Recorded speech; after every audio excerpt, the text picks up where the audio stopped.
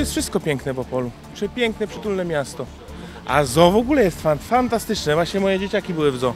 Fenomenalne. Park y, 800-lecia, bardzo piękny, młode drzewa posadzone, dużo spacerowiczów, młodych ludzi odpoczywają, rowery, rolki, bardzo miło. Zo jak najbardziej dla dzieci. Albo też jest tutaj chyba, jak się nie mylę, w- też koło zoo yy, ten park, yy, że tak powiem, taki, że można sobie poprzechodzić z dzieciaczkami linowy. Jedziemy na rowerze. Na Bolko w sumie, jak jest pogoda, to tam też jeździmy.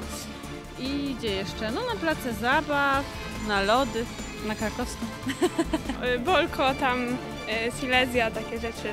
Wyspa Bolko, wspaniałe miejsce, gorąco polecam. Byłam e, w zoo ze znajomymi, byliśmy tutaj w kościele na górce, bo jest pięknie, byliśmy przed Uniwersytetem Opolskim, bo jest bajecznie i naprawdę tam się jest czym pochwalić.